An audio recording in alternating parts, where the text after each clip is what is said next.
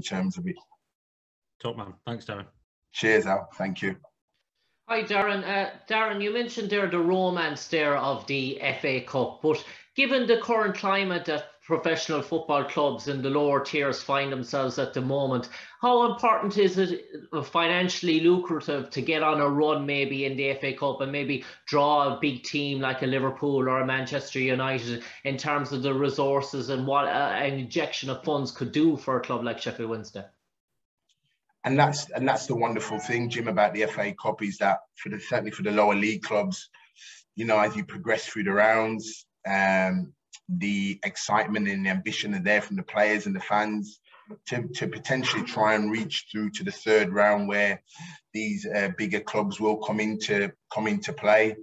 Um, and that's the beauty of the FA Cup. Um, it's straight knockout uh, football. Uh, it presents different uh, teams at different levels against each other.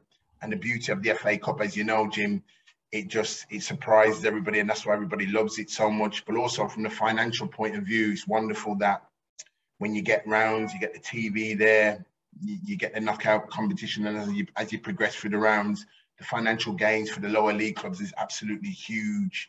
You're talking a good cup run can can set up some um, lower league clubs for the next season or two seasons you know just by having a a, a cup run because the financial rewards are so great. So I would imagine all of us in these first couple of rounds, rounds one and two, will certainly be looking to gain access and get through to that third round and and, and progress from there and and see what what can be done uh, in terms of going forward. Um, so yeah, the the appetite's there for us all uh, to try and progress. Mm. And it's a hectic season, obviously. We know the amount of games that are involved in uh, League One as well. And I suppose management of senior players obviously is a priority. You've 16 games played so far in League One. Barry Bannan has started in 15 of them. Uh, and he's got a goal as well. A player like Barry, in terms of that, he's so pivotal for you in terms of the league as well. Is it are these opportunities where the Barry can sit out and maybe someone else can have an opportunity, or is he such a critical aspect of you, uh, your team, in terms of a cup run that you still need Barry Bannan at the wheel? No, I think I think the one, the one thing, irrespective of the age of the players, they all want to play. Jim, every single one of them want to play, um, and never not any game is deemed a lesser game than the other one they all want to play, they all want to compete to get in the team, and whatever that's the case, and uh, that's great because um, you know we, we we look on the game on Sunday as a very serious game in terms of where we are, and the squad are all vying to to want to get selected to play. Um, the job is to look at the state and the condition of the team.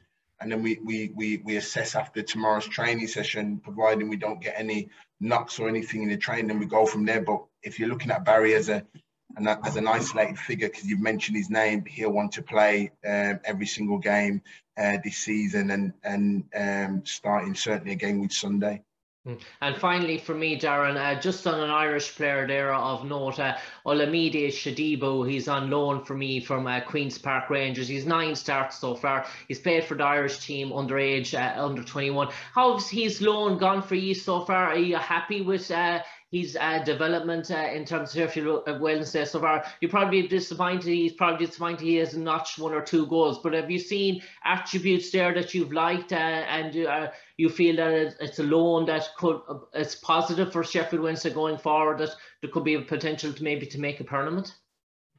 Yeah, we want. We want. Uh, it's been a, a mixed um, loan experience at the moment, only because um, he started the campaign off in pre-season, then he picked up the injury just before the the start of the season, which kept him out for probably six or seven weeks, really. So it kind of like blotted his his um him continuing that really, and then he's come back in and um he's shown he's shown like you know a steadily progress like but the whole team has. So in terms of him now, he's ready now. We feel he's we've got him to a point as well where he's physically in a better position now and he's just looking for the opportunity now, Jim, in terms of going forward. And we do believe in him. He's a goal scoring player. Um, he's proven that, uh, and he carries a goal threat.